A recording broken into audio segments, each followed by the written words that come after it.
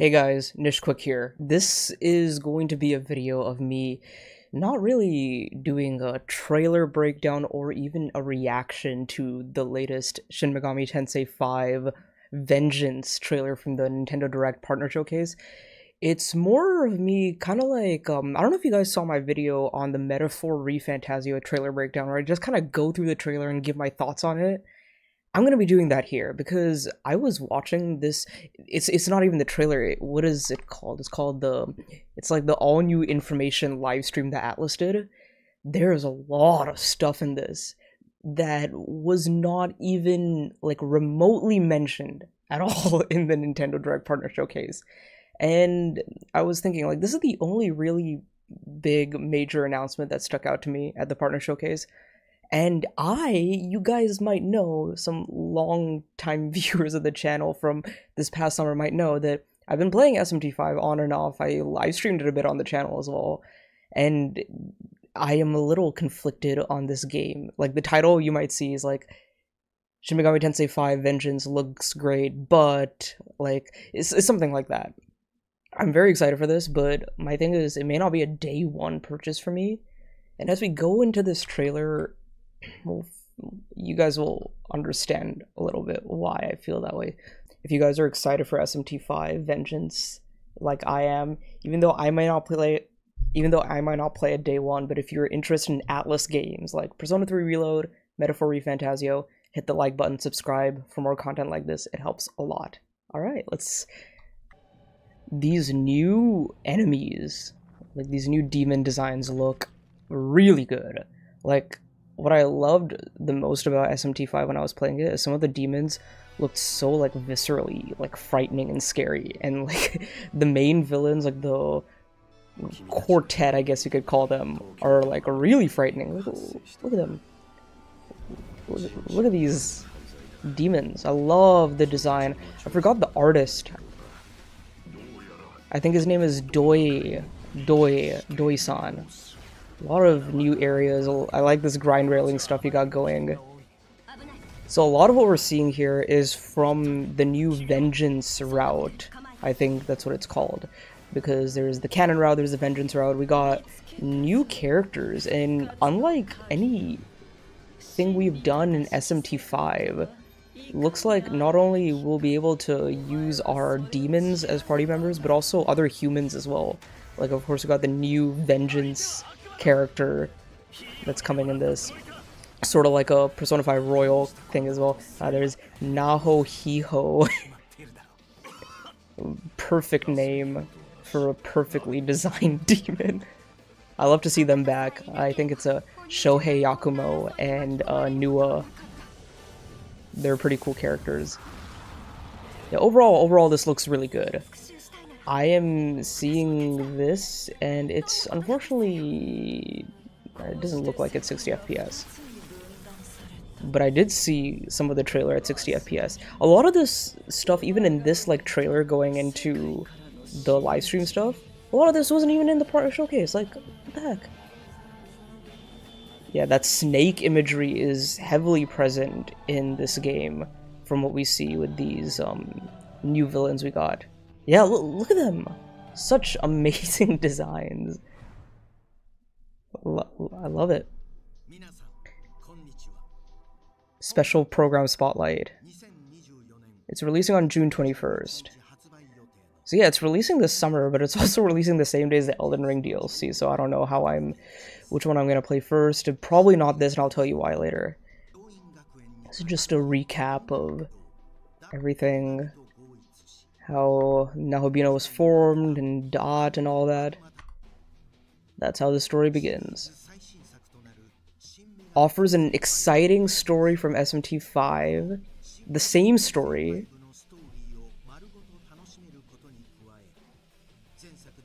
and a newly added route gameplay systems have been improved overall. So this is this is like a wait, addition of new content, quality of life. Yeah. Um.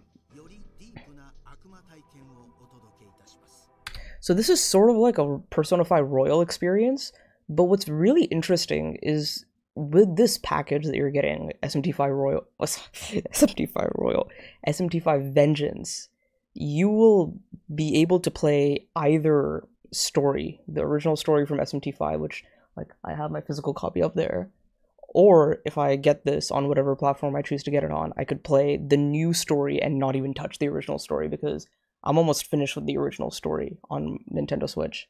And what's really cool is in both of those versions, it seems that all the quality of life stuff, all the visual enhancements, all of the demon enhancements, all the new demons also, I think, will also be in both versions of SMT5.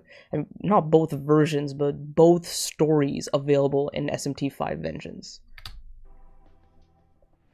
I saw a lot of people on social media a little bit confused on that, so I, I think it'll be explored more over here. The two routes, yeah, let's see this.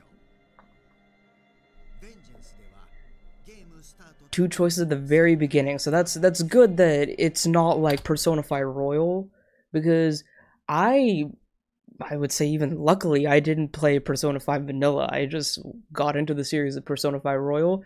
Same goes with Persona 4 Golden. I never played Vanilla. And Persona 3 Reload, you guys might know I never played any version of Persona 3.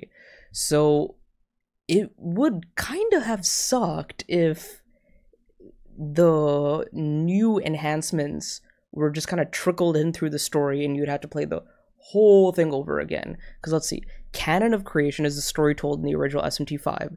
The second route, Canon of Vengeance, follows the scenario of the original, but with significant changes in the middle and later stages of the story. That is where it's unlike Persona 5 Royal, because Persona 5 Royal's significant overhauls happened in the third semester, which was basically the end of the game. Of course, you have Kasumi and Maruki, who were new characters who are interwoven into the story of the original Persona 5, which was basically most of Royal, but the main story of Persona 5 but the main story of Persona 5 Vanilla basically stays the same. Unlike here, of course it says the middle and latter stages of the story will be significantly different. I feel like if we're getting these new characters which we'll see later and if other like characters from the original SMT5 are going to be more heavily involved in the story, I feel like the beginning is going to be pretty different as well. I mean, the intro where you become the Nahobino will probably be the same, but things later after that will probably be pretty different. Yeah, none of these, like... Oh yeah, Hayataro is there, but like some of those other characters, like like these characters, these four, they were not present in the in the original game at all. Yeah, in the canon of Vengeance, four brand new female demons named the Qadištu. I, I don't know how to say that. That's the closest, I guess. They're like the main villains. Lilith. A whole new design for this demon Lilith. Interesting. A certain purpose. New designs by Masayuki Doi. That's who it was. Yeah, fantastic designs, by the way. Look at them. Look at these. Like, some of the best looking SMT demons I've seen in a while. Yes, and here is the like at new Atlus girl. A lot of people refer to them as like Marie from Golden or Kasumi in Royal. Here we have Yoko. Protagonist wandering through Da'at meets a mysterio- mysterious girl named Yoko and decides to adventure with her. She looks very similar to Nahobino, actually. Wonder if she'll have her own Nahobino form. Demons attack humans, creating a world of chaos. Yeah, yeah, yeah. Say, same, same kind of premise.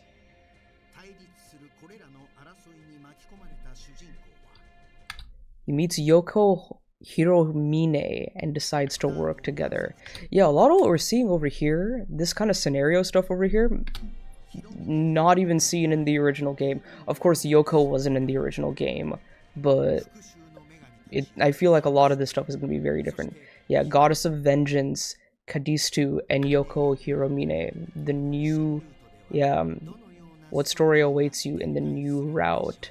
So I want to take some time now let's see. Oh yeah, it's going into the gameplay now. I want to take some time right now to say kind of like, hey, why am I not getting a day one? Because you might have been watching, you're like, oh, you're so interested in this game, it looks so cool. Why aren't you getting a day one? Well, let me kind of preface that a bit. First of all, I have like a lot of games I want to play, backlog stuff. I want to play Final Fantasy VII Rebirth. I want to play the Elden Ring DLC. I have so many other games in my current physical and digital backlog that I've yet to play. But the biggest reason is I have still not, three and a half years later, still have not completed the original story of Shin Megami Tensei 5 on Switch. And you might be saying, oh, this is like the definitive edition. This is fixing all the story stuff. This is giving you a better story. This is giving you better characters. Just drop that and play this. Well, I kind of want to get to the end because I am basically at the end of the game. I am at the point where I'm trying not to spoil it, but basically, I just got a very important demon in my party, and I'm in this very, very big open area, which is probably like the last area in the game, and I'm going to fight some very powerful enemies and powerful big bosses. So, those of you who've beaten the game will probably know where I am in the game. I just want to get it over with so I have that kind of context going into Vengeance and being like, oh, this is better, that was not as good, kind of like that. And in hindsight, I feel like, dang, I wish I never played the vanilla and just waited for this. Because that also leads me to something else I want to talk about. Atlus does these re release things. Like, I was telling you guys, I was lucky. I never played Persona 5 vanilla, never played Persona 4 vanilla, never had to get any other copy of Persona 3 also. But this is my first time being hit by that Atlus re-release thing. I but I bought the vanilla version and now the definitive edition is coming out. They're doing it a little better in this version where the new story feels almost completely different from the original story and it's not like golden or royal where there is a lot of like similarities to the vanilla version but what i am kind of upset about is again, I'm rebuying another SMT5 and a lot of the quality of life stuff in this wasn't in the original game. So a lot of the demon fusing, the compendium stuff, all of that, I'm just to have to like do it all over again. And that's kind of like the biggest annoyance with this. And that's the big reason that I'm probably not to get a day one because I'm very excited to experience this new story, these new characters, this new scenario, and all that. But I have already spent like so many hours in SMT5. Might as well maybe wait for a sale or play some other games before I jump back into this universe. And I'm still like really looking forward to playing this. And since it's multi platform now, I'm going to get it on PC because I want to play this as good as possible, make it look as good as it can because it looks and runs fine on Switch, but there are hiccups, there are performance dips, there are performance drops. There are times in the game I feel like, hey, this could look a lot better on better hardware. So I'm gonna get it on PC. I can play it on Steam Deck, I can play it on the PC, and whenever I do get it, I'll stream it for you guys. But that's my whole like biggest worry with this game I don't think I'll get a day one because I still need to beat the original.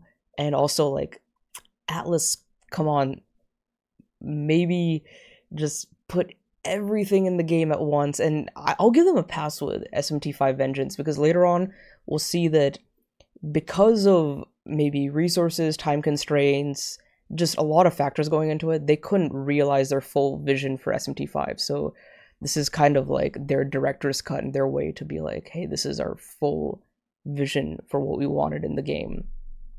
As for Persona 6, I am very I'm going to be very careful with that game. I really hope that they put as much as they can into that game at once. And with Persona 3 Reload, I don't think we're going to get a definitive edition or a second version with the femc or the female protagonist, but I don't know. I don't know. You can you can never tell with Atlus nowadays. Anyways, let's continue this.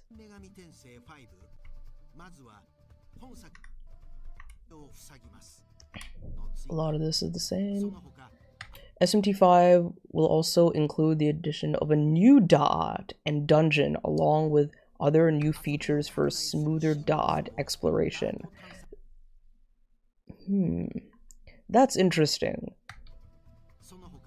Okay, so I'm assuming that this is mostly for the Vengeance route. New quests.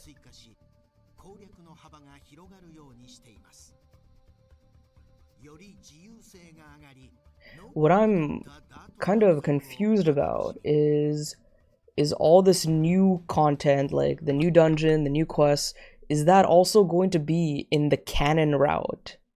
Will all of that be in the canon route or is that only for the vengeance route? Familiar press turn. They're going to show something really cool here in just a sec. I'll tell you guys when we see it.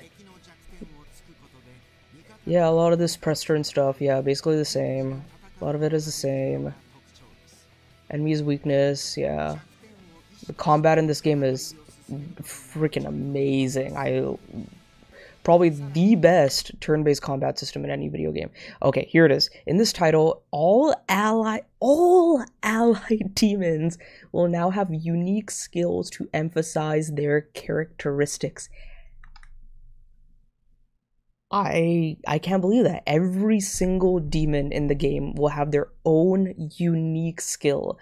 And it's kind of like the essences. I'm assuming because in this game you have essences. Each demon has its own essence but they kind of like overlap. Like for example like this guy's essence might be that he is weak to electricity and resists physical blocks wind and you can move that essence to the Nahobino to get those weaknesses and resistances if you chose to do so. But now that kind of uniqueness is getting transferred over to the skills. Like I can't read this because it's in Japanese, obviously, but this looks like it's this demon's own passive skill. I forgot this demon's name. I even have him as a persona in Persona 3 Reload, but I forgot what his name is. But this is like a unique skill to this demon. A lot of these unique stuff, yeah. But what I think, I don't know if they explain it more over here, but I think that a lot of those unique skills and unique attacks can be transferred over to other demons and other party members, even the Nahobino and stuff, if possible. I think so, don't quote me on that, but we'll see. Yeah, um, every demon now has a chance to shine with these new features. That's so cool. Experiment. Yeah, I I love when a Persona or SMT game really encourages you to fuse and get more demons to do things like this. That's amazing. Amazing new feature. Dive deeper into the signature characters and demons. Okay. Yeah, so this is just showing a lot of the new quests and stuff. A lot of new demons over here. A lot of new quests. Yeah. Fusing. I I love this. Nob Nahobio. That's so funny. They should have called him Naho Hiho. Because it's like Hiho, you know? Jack Frost. Naho Biho. That's hilarious. Yeah, a lot of these designs look fantastic.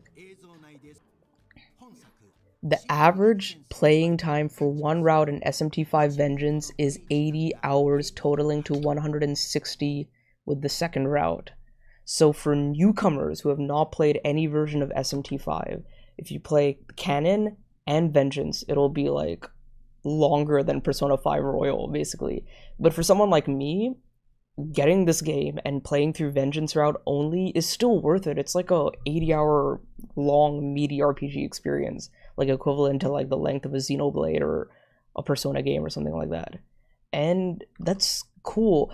Like like i said before the reason why i'm not really prioritizing this game right now is because so many other games to play and Still got to beat the original. I want to have that kind of context going into this product information. Here is some weird stuff with the DLC. I, I don't know how to feel about this, but it's whatever. Yeah, June 1st, entirely multi-plat on every single thing. Switch, PlayStation, PC, Xbox, everything, everything. yeah, th this is annoying. Like, all this stuff is DLC, which you have to buy again. It's kind of annoying. Like, these Mitama stuff, like, that, that helped me quite a bit in the game. These two new demons look amazing, but it's part of the, I don't know, digital deluxe edition. Atlus's day one DLCs are always very annoying. Yeah, you'll get the DLC at a reduced price. I don't know. I don't freaking know. New DLCs. Yeah, look at these. Two new DLCs will feature Dagda, a demon from SMT4, and a completely new demon, Konohana Sakuya.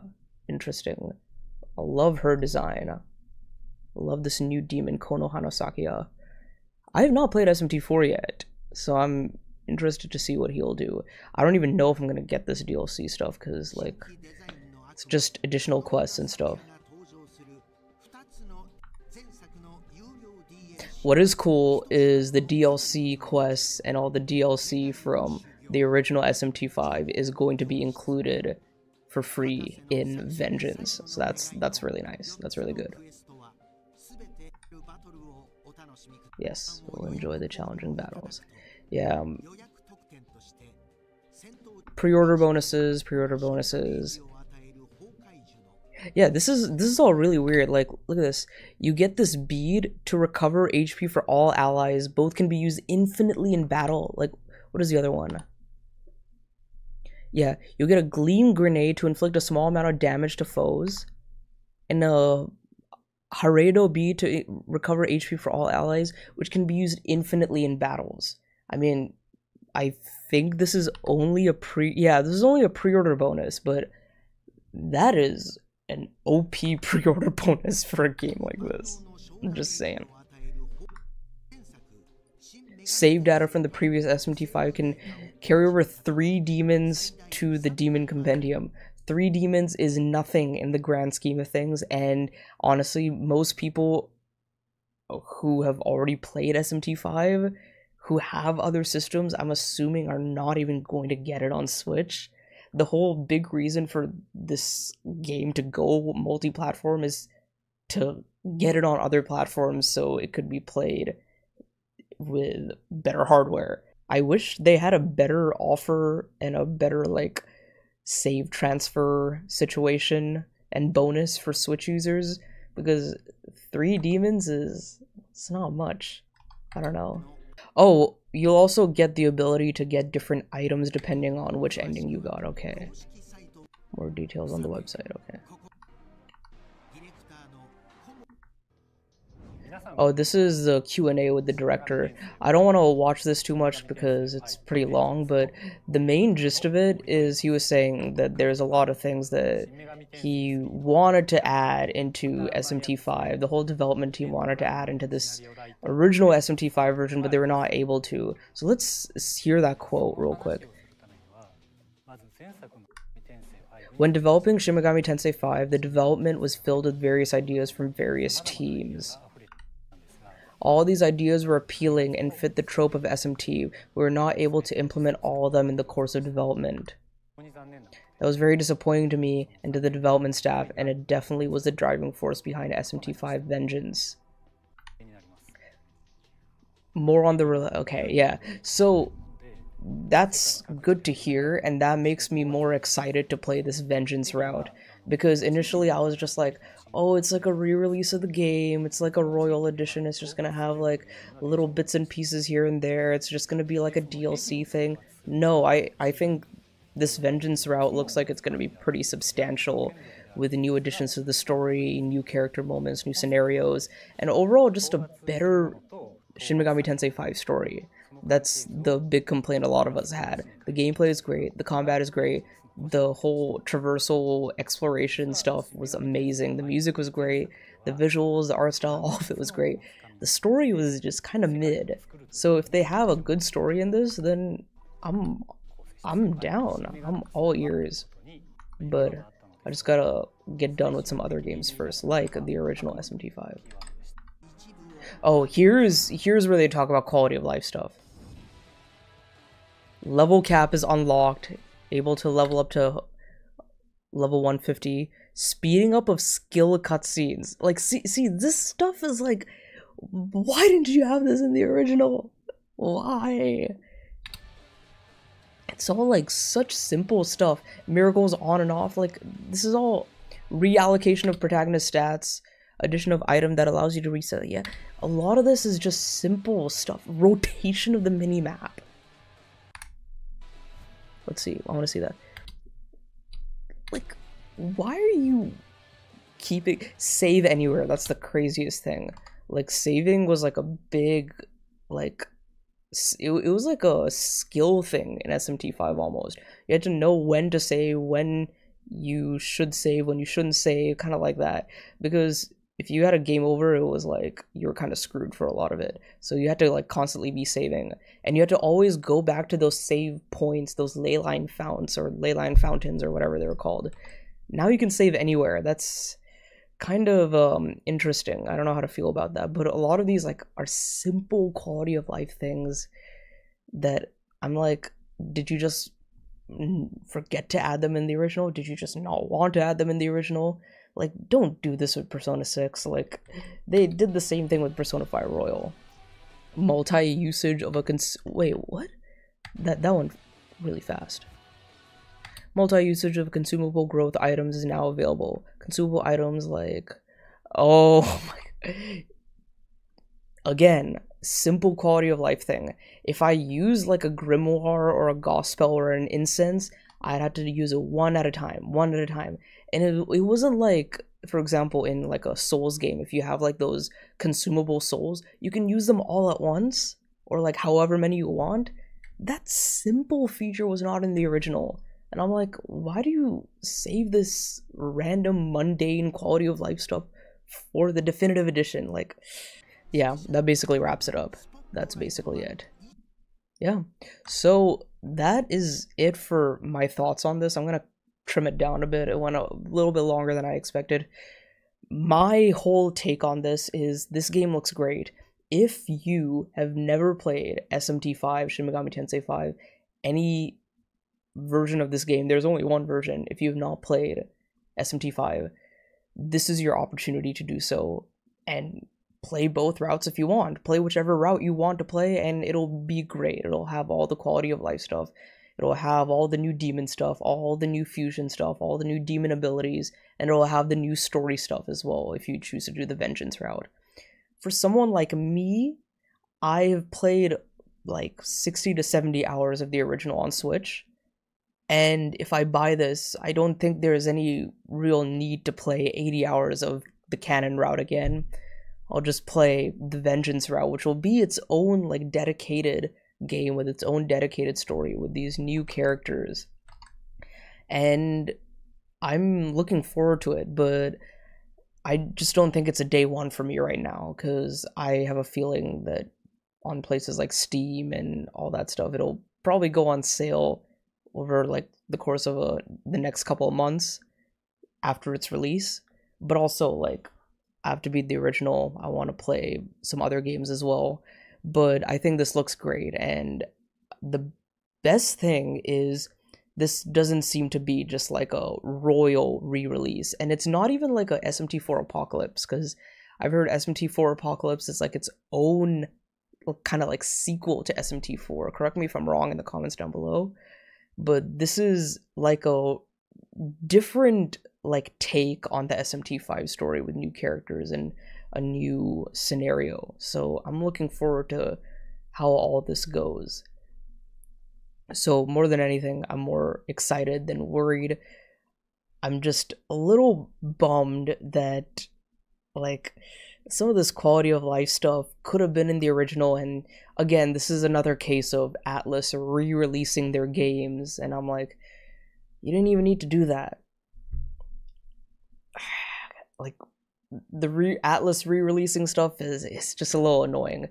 I'll cut them some slack for this one though because like the director said, there's a lot of things that they couldn't like achieve with the original SMT5 release, even though it was a really good game. They couldn't achieve a lot of that because of time constraints or budget or whatever. They just needed more time to flesh it out. and this is like their true vision of what they want SMT5 to be. So let me know in the comments down below. Are you excited for SMT5 Vengeance? Shin Megami Tensei 5 Vengeance is launching on June 21st, right? Yes, June 21st, 2024. And let me know what you think about all the new changes, all the new characters, all the new quality of life features. Are you like also annoyed with some of Atlus's choices for releasing their games? Let me know in the comments below. Anyways, this is Nishquik signing off. Have a great day. Go play some great games today. Like there it is. Shin Megami Tensei 5 on the Nintendo Switch. Go play it. It's on the Nintendo Switch right now, but I think it'd be better if you just wait for Vengeance if you haven't played it already. I'll see you guys in the next one later. Hey guys, this is Nishquik. Thank you so much for watching that video. And if you enjoyed it, check out these two videos on the left and if you aren't subscribed, why not hit that subscribe button on the way out? I'll see you guys in the next one. Have a great day and see you later.